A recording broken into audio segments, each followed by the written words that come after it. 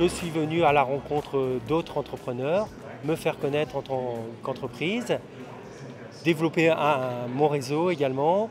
Voilà ce que je suis venu chercher ici. J'ai participé à diverses euh, conférences sur l'emploi, sur le, développement de l'entreprise, sur Internet, euh, sur les réseaux. Je suis venu essentiellement euh, dans le cadre de l'ouverture d'un projet à Brest de boutique dans le centre-ville et j'avais envie d'échanger avec des professionnels sur l'activité du commerce en centre-ville, sur les sujets de parking, sur l'animation commerciale du centre-ville, les transformations de la rue Jean Jaurès notamment.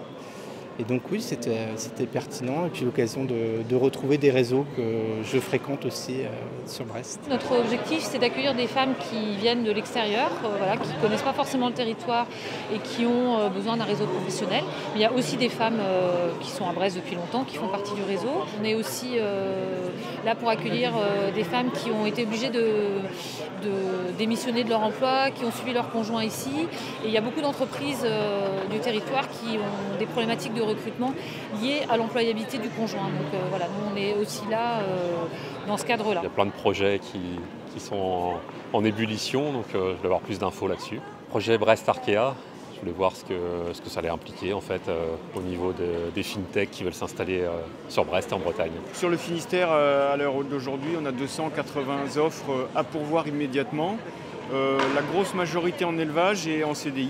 Le nombre maximum d'emplois se trouve sur le nord du département, donc à proximité de la métropole.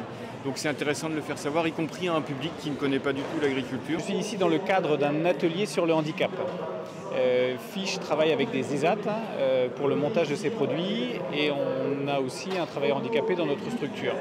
Euh, donc c'est un sujet qui nous tient à cœur et qui a trait aux valeurs de notre entreprise. What I've seen in Brest so far, uh, you know, entrepreneurship is strong here and the strong business community, and there's lots of opportunities for firms here abroad, uh, and likewise from Denver to over here. Um, in today's economy, more than ever, it's a global economy. And with, uh, for example, with the new uh, flight direct from Denver, Colorado to Paris, uh, Norwegian Air, uh, the time has never been more ripe for uh, global business exchanges and opportunities between cities, and especially sister cities like Brest and Denver.